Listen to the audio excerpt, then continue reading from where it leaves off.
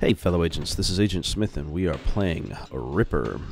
So, in the previous episode, we got through a bunch of different things, got ourselves into Act 2. We went and decked in a few locations, uh, Falconetti's place and Wofford's place, got some details and information, but we got the help, most importantly, of Falconetti. And he has come and helped us to jack into Catherine's mind, which we had just done. And uh, with that information, we well, with that ability now, we should hopefully be able to um, come back with information whenever we get the opportunity to assist her memory, allowing us to be able to uh, hopefully get a better picture of who the killer was since she was attacked by him. So, uh, but I'm gonna go ahead and run down to the morgue and see what the mortician has to say now that things have changed a little bit. Maybe some new information, something else to lead us into. Uh, I don't know. Just give us tips or clues. Otherwise, we're just gonna have to go reporter style and search around all over the place to see what we can find.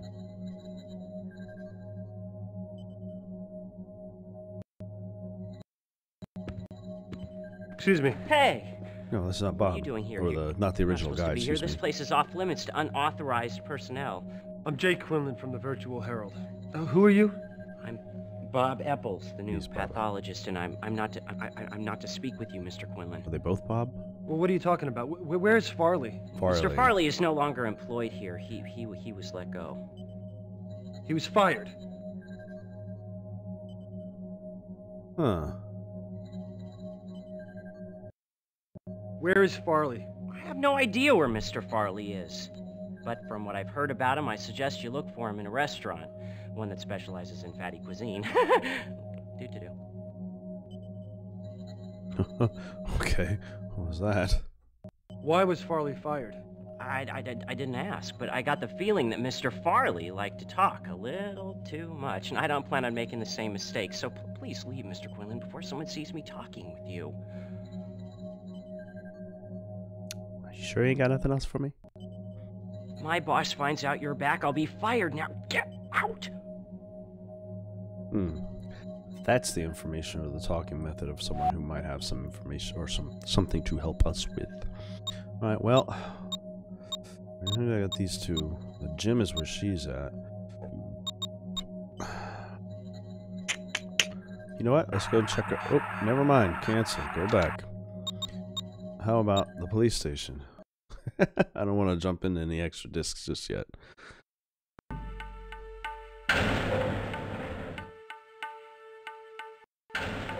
Let's talk to uh, Brandon and hopefully maybe even talk, uh, sign some information off of Magnotta.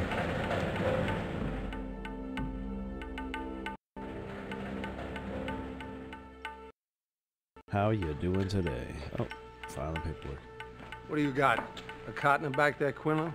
Here's my stuff. I'm going into interrogation, Brandon. You know, little police work. How's the coffee, Sarge? Mm, nice and hot. Guys got balls so big they collect the gum on the floor. They do. They drag. Okay. Soho Precinct, Sergeant Brandon speaking. What's your problem? Chekhov, I'm talking to you. Right. Don't call there anymore.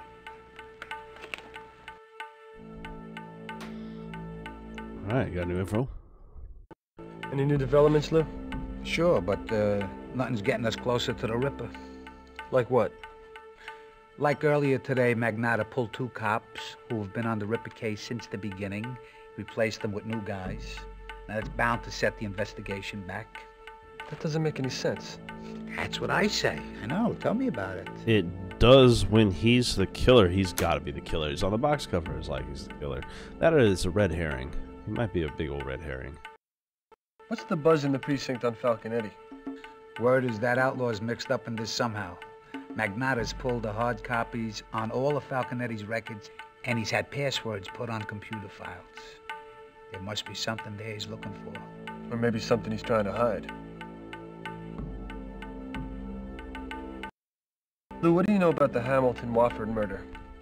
I haven't followed the case. I don't know much about the guy except that he did some work for the precinct some years ago. What kind of work? Magnotta hired him, I don't know, five, six years back to build a virtual target range for the cadet cyberspace training. So Magnotta knew him. Yeah, that's probably why he took the case on, even though he's got his hands full with the Ripper. Hmm. Not now, Quinlan. It's not a good time. It's a perfect time. Let's go and see if we can sneak into Magnotta's office real quick. As he is uh, obviously in interrogation at the moment.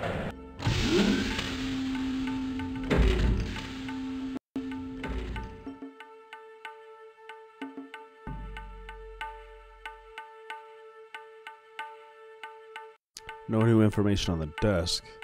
This comes up again, though. I'll ask about these if I can. Oh, oh. Maybe see if I can find him in interrogation room.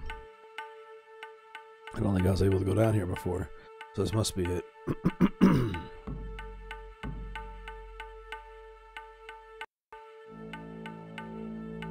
One of these two.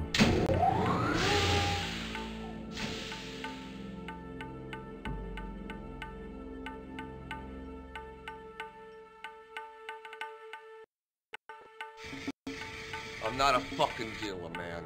Those were legal dosages for my personal use. I'm holding down like four jobs at once, man. I need the fucking mental clarity, okay? See how much clarity you have when I'm done with you. Those senior citizens you sold that Lucidville B2 had severe arterial hypertension. Five of them popped blood vessels mm-hmm. in their heads. Now talk, fuckhead.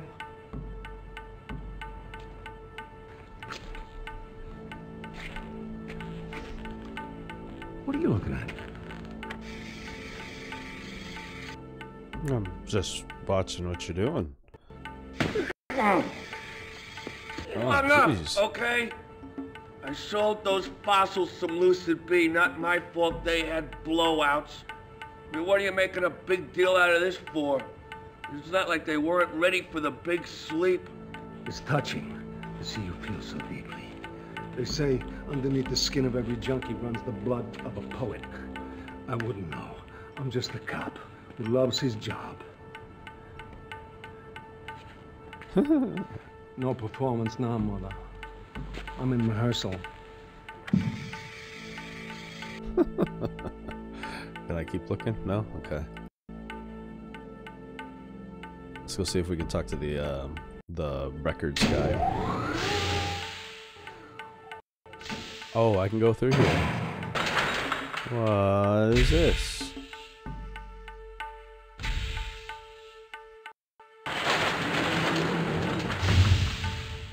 Hello? I meant the guy I spoke to earlier, but apparently this is a records room. Uh, we weren't ha- we didn't have access to this before, so yeah, the whole section over here was closed off, or not locked or anything, but just wasn't accessible. At least I couldn't get to it anyway. Well, let's see what we can find.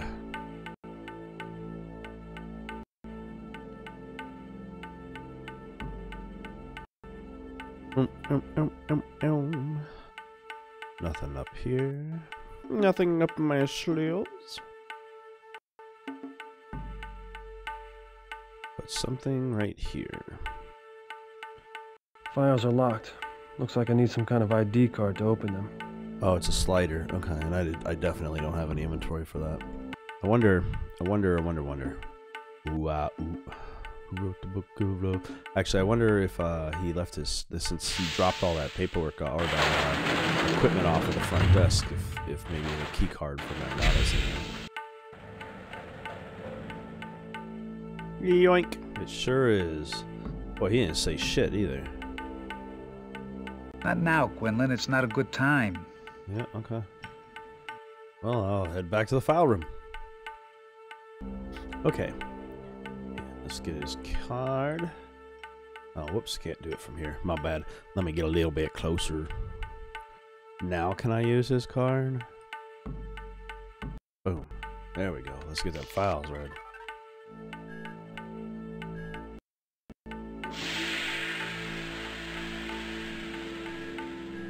One fancy file folder.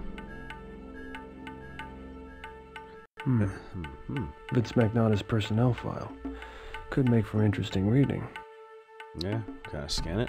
Vincent Magnotta, date of birth July 4, 24th, 1997. Is uh, 1432 Houston Street. Is a detective. Marital status is single. Uh, tech rating is highest of levels. That's not good. Silver Cross of Bravery in 2034. Scorpio Award for Highest Bounty Collection 2035 to 2040. Virtual Cluster for Outstanding Police Work in uh, in sea space. And fatalities in the line of duty. Details of each case stored in core backup files. Access file name Slayer. Well, Slayer is definitely going to be something useful. Slayer!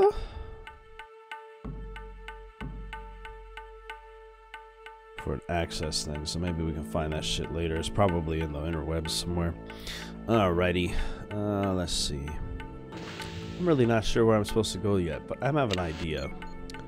Let's go take a look in her journal. She is a horoscope person. So, Aries, Pis, Pisces,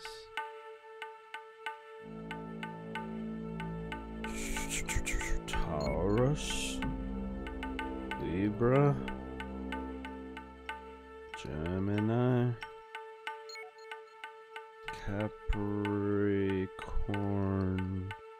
uh, Cancer, Scorpio. Got it.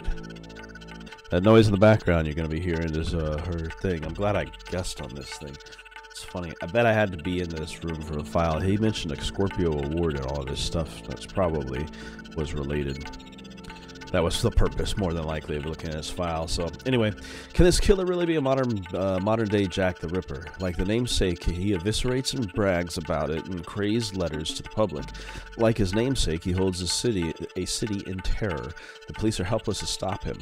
He strikes without warning and vanishes without a trace. I suspect the Ripper is one of the three people: Vincent Magnotta, that's what I was thinking, lead detective in the case; Claire Burton, the metacog, cyber surgeon, is possible, or Joey Falconetti, a, li- a legendary deck cowboy with a criminal past. That seems unlikely, but it's possible. I doubt it, though. It seems too obvious. Claire Burton it would be the character you wouldn't suspect and therefore probably could be. Uh, and I think Vincent Magnotta is just a red herring. We want to believe it's him because he's such a dick.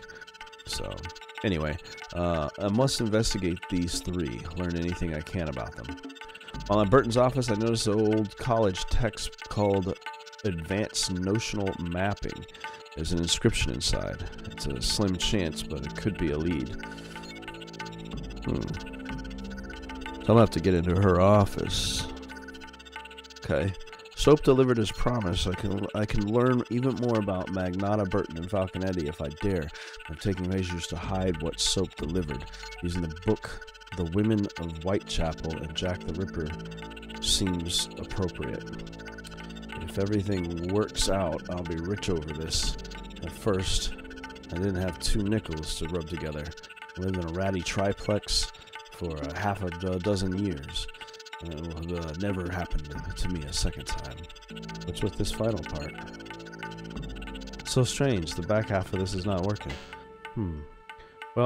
Let's head to. Oh, no. Let's head to her apartment and see. I think the book she just mentioned was actually. Disc 4! Was actually uh, in. Um, I think the I think the book that she's referring to is in her room, in her house. I think I saw a second book on her bookshelf with that title. I also already have the Ripper book, so there's a good chance uh, that is what she's talking about. Disc inserted. Continue. Can't read mine. Yeah, The Women of Whitechapel sure is this book. Now I can take it.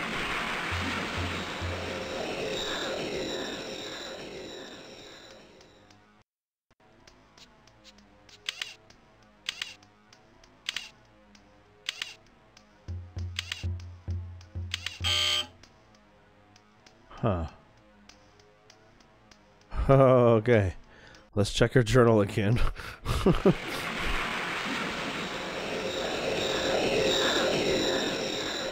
that is a wild transition. Go back and forth between information. Let me go back in our electronic journal and see if anything else is done in here.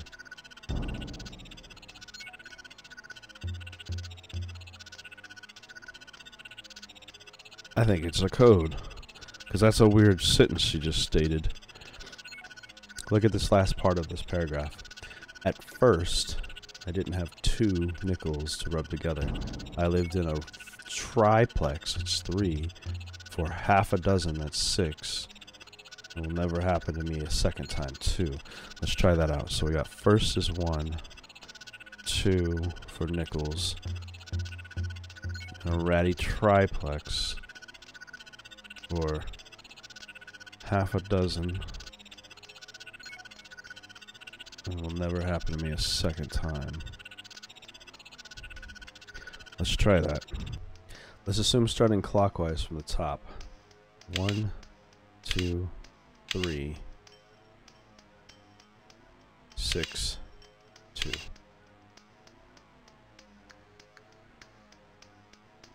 No? It's more numbers. Oh, it's more numbers than I have. How about two nickels, one five five, triplex, half dozen two. One, two, three, four, five, five. Uh, three, six, two. That got it. Got something happening anyway. it's a disc. A little disc. Data disk. Thank you. Can I use that on her computer? Is that the purpose of her computer finally? The two nickels almost tripped me up. That's that's some fine sneaky writing. I just figured the numbers. I noticed that everything was a sudden story with numbers in there that made no sense to the whole thing. And that's why she spoke about hiding it. Seems to be every time I need to do something, I have to be in the right spot. Data disk use. There we go. Pop that in there real quick.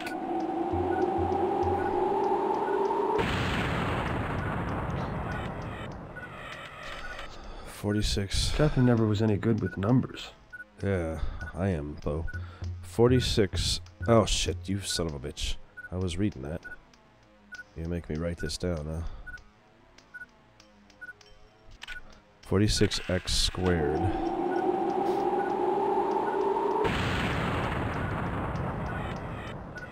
Divided by Catherine never was any good with numbers. v equals 5. I'll make sure write. 46x squared divided by 7i and v equals 5. You know what? Since it's math, and there was a calculator in the newsroom, let's give it a try. I'm glad some places are on disc all the time. I was surprised. I keep feeling like every time I go to a location, it's going to pop me back out, and I'm going to have to go and check a, another data disk or something to get it to work proper. There's a calculator over here. And INV, I think, is a number on their inventory. Let's see what happens. Turn it on. Yeah, it's INV right there. Four, six, x squared divided by inventory 7 equals 5. Nope. okay, let's reset that. Let's see.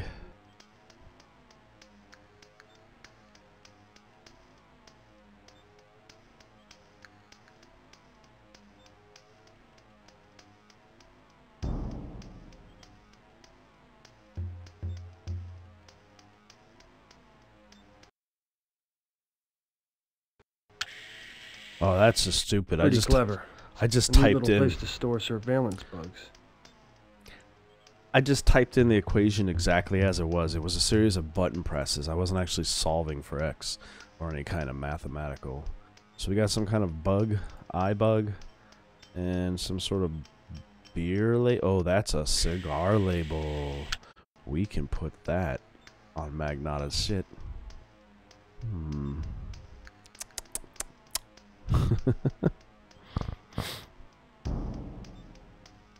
I think I'm gonna go do that one right now because that's definitely a doable. That label looks, and I keep on. Not only do they not allow me to keep looking at his cigars, but that label looks almost exactly like the Bull Cigars label that is on his table. And the fact that they keep on allowing me to go in there, if the fact that they keep on allowing me to be able, I'm gonna rhyme, right? Uh, but the fact that they let me keep going into his office indicates that I probably do need to bug it. That way I can find information or at least figure out what she was trying to figure out. I still don't think Magnotta's a killer. I don't think Falconetti is either. I think that the logical one is Dr. Burton. And the logic only because she's the least obvious one. Or it's somebody we don't know at all. Maybe it's JJ Walker. As he can't walk. Because uh, he claims to be in a wheelchair, you know. That could be a bunch of people. Watch it be like Wofford or something. Like everybody is a suspect now at this point.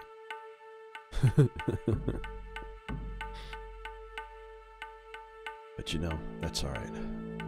That's the fun of it. The original Jack the Ripper cases were never solved. Hopefully, we will come to some resolution on this one. Because technology and detective work is a little bit better. Although this does simulate it a lot, like with the fact that he's kills people and gets involved in stuff, it's very similar to the style um, of the original one, which had issues of people with race, racism, and other things like that that indicated like the interfering with the case, basically. In the original ones. Boom. Slide Magnotta this. will never even notice the bug is there. I don't know. He might. That looks completely different than the rest of them. But, uh, yeah, yeah. Until he smokes it and it, like, sparks in his fucking face. Do I have to come back and get it? I wonder. And now, our next location is to go to the hospital. Where is that at? To the Tribeca Center. Oh, I can't jump to a specific location within? Oh, that would be cool if I could. Alright, well anyway, we'll talk to the receptionist and then uh, maybe we'll be able to, like, I don't know. I think there was a, uh, there was like a statue or something in the, in her, in the ICU unit. Unless it's that locked room we haven't gotten into yet. Metacog, hold on. Hey, Jake. Saw your story on the last murder. Look, you know I was just kidding about your squeeze croaking and all, right? Mm-hmm. I mean, God, man, it must have been awful. And I'll tell you something else. Magnotta's been looking for you. I mean, I figured you should know, because he is not the kind of guy I would want looking for me. He isn't even the kind of guy I'd want to look at me. Is he here now? He just left. Coast is clear. Thanks, Viv. He's hunting me down now, huh? Why is he looking for me? Not enough you don't. But you're welcome just the same. Up to the ICU. So there wasn't anything obvious in the ICU. It wasted my time up there. But maybe, like I said, the receptionist could help me with getting into that other door. So there's a second door on the other end of the hallway, and that has to be her office, right? That's the only thing that makes sense. So, let's see. Anything. Oh, look at that. There's something that wasn't there before. Boom. Oh, man. She left that shit there, didn't she? Let's use this scan card on the door upstairs and see if that works. To the door! So this place was left from the elevators. We normally go right to the ICU unit, but uh, this is to the left, which I find hilarious. This is perpetually cleaned. Like, man, this is always like this. There's no purpose to it other than to stop you, I guess, in front of this doorway. but whatever. I thought this was a button pad. I could have sworn it was a keypad. let's try this new scan card. Use. Verified. Hello, Dr. Burton. Alright. into her office. There's got to be a good location in here somewhere to fucking uh, tag a bug. And that's it right there. Because I have an eyeball bug, so it would make sense to put uh, replace one of these eyeballs. What's a cyber surgeon need with an anatomy model? Who gives a shit? Oops, that's not what I wanted. Power. Clicked the wrong one. She needs it. Oh, oh, whoops. My bad. Do I have to remove one first? Look. There we go. Now I'll use it. Well, that fits in there nicely. Of course. Well, she was probably pre-planning all this stuff. You act like that's some fucking revelation. oh, there's information. What's this down here? A copy of Advanced Notional Modeling. To Claire Burton. Happy something in cyberspace. Happy trails? Happy travels? I think happy trails in cyberspace. Lillian Beck. Lillian Beck. Who is that?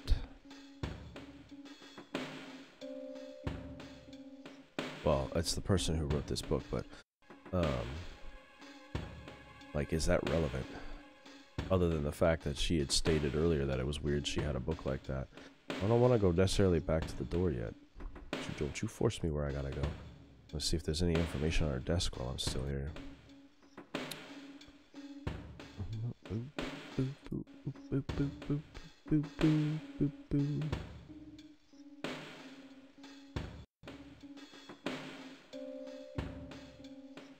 Such a weird series of movements just to go around a desk. Alrighty, what we got here? Dr. Burton's prescription pad. Prescription pad. Object scanned into database. Nice. She just signs her own. She signs her own pads. Object scanned into database. And some sort of document I'm gonna have to take a look at. Okay, we got the both of these. Into mine database. I'm assuming she must still be at the gym. So let's get the heck out of here. I wasn't here at all. all right. I think I'm going to go ahead and stop here. I'm not quite sure how long this was. There was a little bit of cutaways and stuff from walking around and things because this game forces me to walk every step of the way. There's no skip reaction or anything like that for movement cycles. So, But either way, I hope you guys have been enjoying this. And if you have, we're going to take a look at the information that we just got off of her stuff and we're going to continue to check around. We're also going to probably need to talk to, should we need to talk to everybody? Uh, so we're going to be going through and just basically reviewing all the locations we have and also seeing if we have any new information on Burton stuff. Hopefully these bugs will give us something and hopefully running into Magnotta is not going to become a problem for us. So, But uh, either way, hope you guys enjoyed and if you did, I will see you all in the next episode of Ripper. Have a great day. Oh, hey. I see that you guys are done with this video. Hope you guys enjoyed it, and if you did, you can see another one over here on the right hand side. And of course, we've also got one on the left as well. Anyway, I hope you enjoyed, and I'll see you all next time.